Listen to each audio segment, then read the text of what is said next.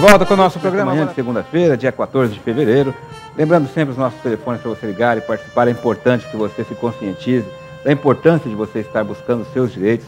E este espaço aqui foi criado especialmente para isso, para que você faça valê-los, para que você busque o nosso lado. É, acima de tudo, um ato de cidadania. A dona Vilda Maria de Campos acaba de ligar aqui no programa, igual esse caso que nós tínhamos falado aí do, do Getúlio, né?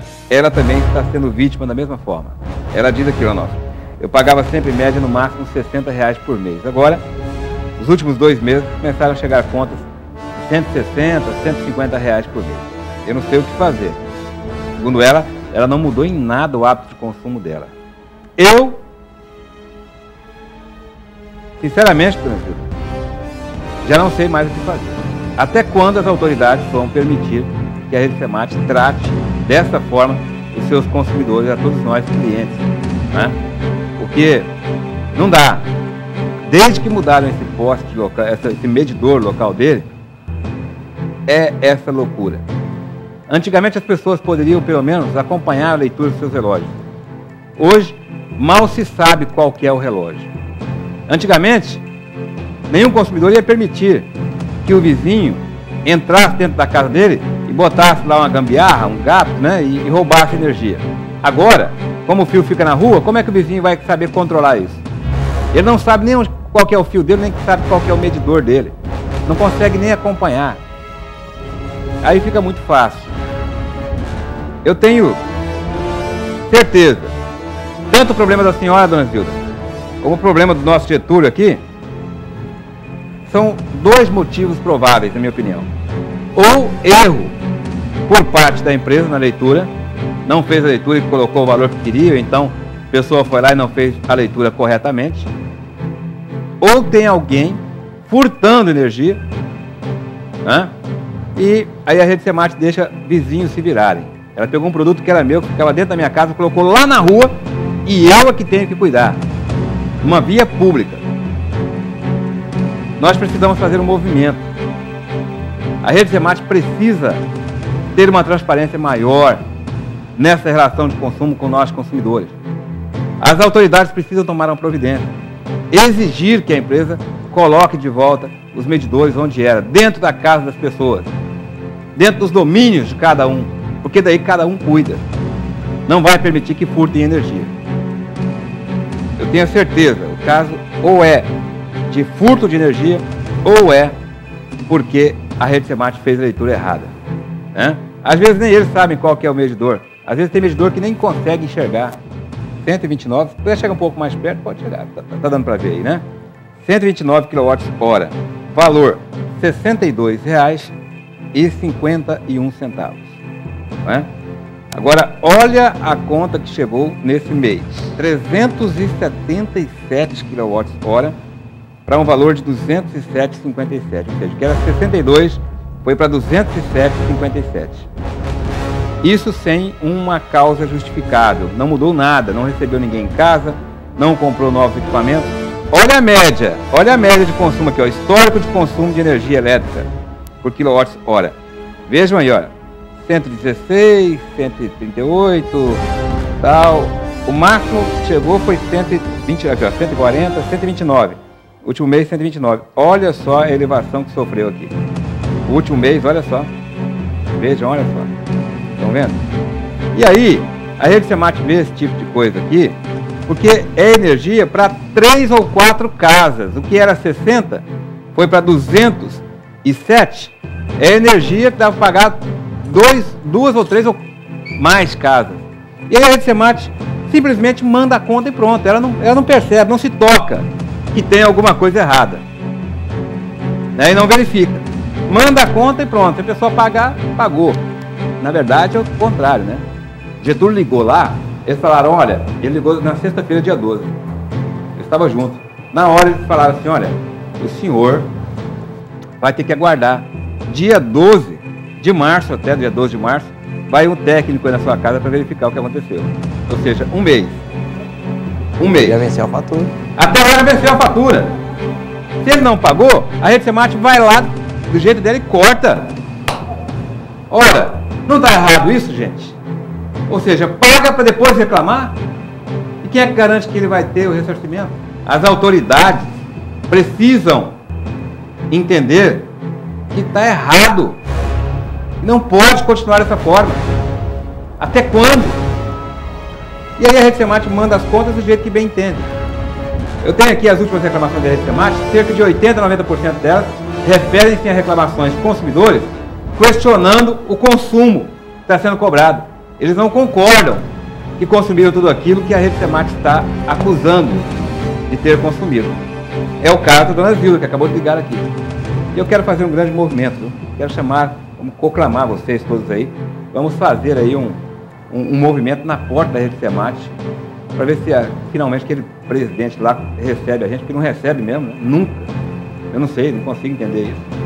O máximo que a gente pode chegar, que a gente consegue chegar lá é na assessoria de imprensa. O resto, né, não consegue falar com diretor nenhum, muito menos com o vice-presidente lá, o. Não atende a imprensa.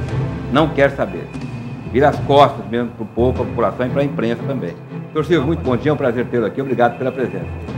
Mas bom dia a todos os consumidores aí, é, acompanhando aí essa situação que o NOF já vem a discorrer, que é uma situação polêmica, uma situação corriqueira, que de alguma forma né, temos que buscar meios para tentar impedir ou ao mesmo trazer um maior, uma maior informação e cumprir com esse princípio tão grandioso que o CDC explana e nos coloca como obrigatoriedade do fornecedor, né? explicar essas grandes alterações de valores quanto à média de energia que muitas vezes não tem como ser demonstrado, comprovado e muitas vezes acaba o consumidor tendo que pagar, não conseguindo restituir e infelizmente vinha aí a trazer várias ações para o nosso meio judiciário, principalmente os nossos juizados especiais, nós sabemos aí que estão com falta de funcionários, muitos deles, e desencadeando aí anos e anos de discussões e uma situação que poderia facilmente ser resolvida. É, eu, eu não sei, doutor até quando a gente vai aguentar, até quando as autoridades vão ficar aí é, fechando os olhos, virando as costas para isso. Né? A gente precisa fazer com que esses medidores voltem para dentro das casas das pessoas, para elas poderem acompanhar diretamente isso. É muito fácil, a rede temática pega um produto que é meu, coloca lá no meio da rua, eu tenho que cuidar. Se, se alguém vai lá, um mau elemento, e faz uma gambiarra e rouba energia, eu que pague. A rede temática não está nem aí. Isso tem valor jurídico? Eles fazerem a conferência sem a minha presença? Eu posso questionar isso de forma jurídica ou não? Sim, a possibilidade de você vir a discorrer, questionar essas, essas, é, essas mensuras que são efetivadas por parte da empresa, por parte do fornecedor, tanto é verdade que nós verificamos hoje, junto ao nosso meio judicial, principalmente juizados, a grande discussão Nof, que nós temos em relação à diferença de valores cobrados com essa medição. De médias que muitas vezes o consumidor consegue comprovar os seis últimos meses, ou até mais, de valores na média de 60, 90 reais, e de repente chega a faturas de 200, faturas de 500 reais, e muitas vezes o consumidor não sabe como veio a chegar aquele valor. Como houve a mensura desse relógio? E quem não desconfia, Onofre? Como que você não desconfia de valores que vêm alterar de uma hora para outra, mesmo você possuindo os mesmos produtos dentro do local, dentro da sua residência? Alguma coisa está errada. Então acaba muitas vezes o pessoal impugnando essas conferências e buscando ações de recálculo de valores nos. Pois é, e aí? Quando a rede temática pega o, produto que é meu, que a partir do momento que passou no medidor, já é de propriedade minha. Estou pagando, vou ter que pagar, não é? Com certeza. Coloca lá no meio da rua, 15 ou 20 metros de distância da minha casa. Eu não sei qual que é o meu medidor às vezes. E aí vai lá um, uma pessoa de má índole, coloca lá uma gambiarra, furtando energia, e aí eu não sei tá, se é de mim. Tem muita gente que me fala, olha, eu sei que naquele poste lá perto da minha casa tem uma gambiarra. Só que a pessoa não sabe de quem é está sendo furtado. Se é da empresa, se é do vizinho, se é dele. Aí quando chega a conta, ele é obrigado a pagar. E aí para depois reclamar, né? Para depois reclamar. E daí se reclama na rede semana, a gente vai falar, se vira. Lava as mãos, se vira com seu vizinho aí. Tem alguém roubando energia sua. Paga. Não vai ter cortado. E até quando a gente vai ter que aceitar esse tipo de coisa? Situações constrangedoras, né, Onofre? Muitas vezes você verificar aí alterações nesses padrões, né? A gente não indaga o porquê nem como, mas muitas vezes acontece. Eu acho que deveria ter uma maior visibilidade por parte da empresa aí ao auxílio aos consumidores, né? Que são os consumidores que utilizam desse serviço e que vêm a pagar vocês fornecedores. Então acho que ele deveria ser atendido com maior respeito, muitas das vezes até mesmo no seu atendimento e cumprir com o que é estabelecido pelo CDC, que é repassar as informações necessárias e de forma clara precisa e específica, coisa que muitas vezes nós não estamos tendo. Agora, pasmem, que eu fiquei mais pasmo hoje, foi que o título ligou na sexta-feira e eles falaram que uma equipe lá nos próximos 30 dias, né? Enquanto isso, para não ter o serviço interrompido, ele teria que pagar. Bom, se ele tem, não tem o dinheiro, a rede semática não quer saber. Né? Não tiver, vai, vai cortar e pronto. Mas hoje eu falei, não, Heitor, peraí, vamos ligar lá, vamos, ligamos na ouvidoria. Aí de repente mudaram a conversa. Falaram, não, fique tranquilo que a gente vai refaturar essas contas aí. Não considere essa que a gente vai mandar uma outra dentro da média dos últimos meses de consumo seu. tá vendo só? E nem precisou do, do, da pessoa ir lá fazer a vistoria. É o caso do Doriedes. Ele está lutando há muito tempo. Ele construiu né, a sua casa e constatou que o piso adquirido lá na Todimo veio com defeito. Desde o ano passado, ele luta pela troca desse produto, mesmo enfrentando todas as dificuldades, inclusive a de não poder morar na casa. Seu Dori Edson construiu a casa para abrigar a família de quatro pessoas. Mas justamente na fase de acabamento, o sonho passou a ser um pesadelo e apareceram defeitos na cerâmica. Pequenos furinhos descascando o esmalte. Ele reclamou na loja. Até agora, só ofereceram a ele uma carta de crédito para outro produto. Que o que ele me constatou para mim é que ele podia abrir uma, um crédito de compra na loja. Mas isso não vai resolver meu, meu problema. Eu quero saber o que, que ele vai marcar com alguma coisa porque eu não posso levar esse prejuízo tão grande assim. Para esse trabalho, ele já pagou e agora tem o direito de ter, inclusive, a instalação. Espero que você é, resolva para nós, Nofre. Ok, senhor Viedes, tá aí. É o senhor paciência mesmo, né? Porque com duras penas construiu aquela casa ali com muita luta com a sua família e agora não pode morar na casa, tá lá desde o ano passado morando no fundo, porque se ele mudar lá, Aí que eles vão dizer que é porque ele colocou móvel pesado. Eles disseram no laudo, doutor Silvio, que o piso tinha danificado porque ele colocou móveis muito pesados. Agora, piso tipo A. O piso não é para colocar móvel, não? Então, é, coloca na cara. Esse piso não pode colocar peso, não pode colocar móvel. Peraí, um piso que não pode colocar móvel? Então, que piso é esse? Não fala que é piso classe A? Imagine o classe B ou C, então, né, Silvio?